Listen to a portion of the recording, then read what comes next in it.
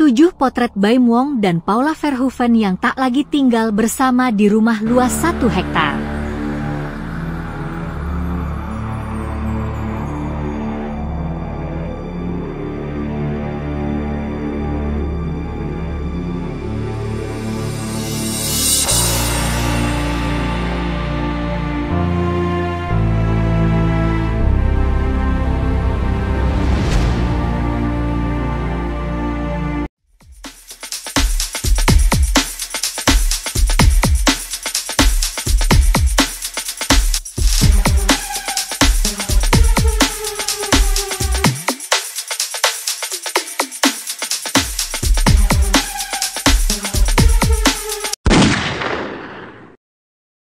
Kabar Baim Wong dan Paula Verhoeven menjual rumahnya sudah beredar sejak lama.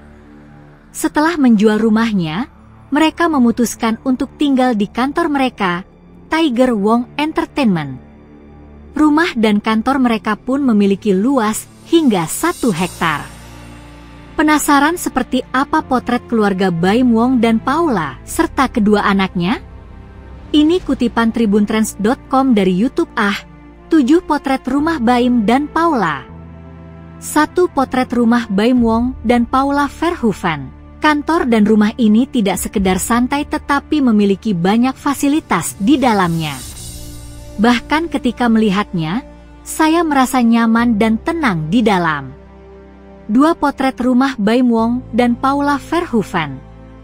Fasilitasnya meliputi ruang tamu dengan sofa empuk Bahkan desain rumahnya pun unik, yakni belum selesai dan menyatu dengan alam.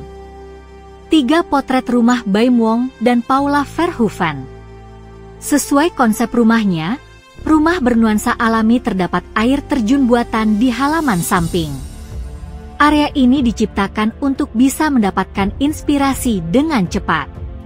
Empat potret rumah Baim Wong dan Paula Verhoeven Baim dan Paula tidak hanya bernuansa natural, namun mereka juga menawarkan fasilitas lain seperti meja biliar. Tidak hanya berfungsi, tetapi juga dapat menyegarkan. 5 potret rumah Baim Wong dan Paula Verhoeven. Tak hanya itu, mereka bahkan menyediakan kolam renang.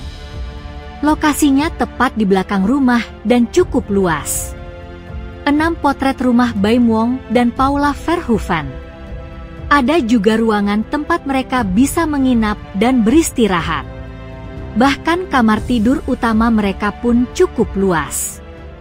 7. Potret rumah Baim Wong dan Paula Verhoeven. Tidak hanya memikirkan karyawannya saja, Baim dan Paula pun juga menyediakan mini playground untuk anak-anak mereka. Sehingga pada saat mereka sudah menetap di rumah tersebut, sudah nyaman dan tenang dengan semua fasilitas yang tersedia.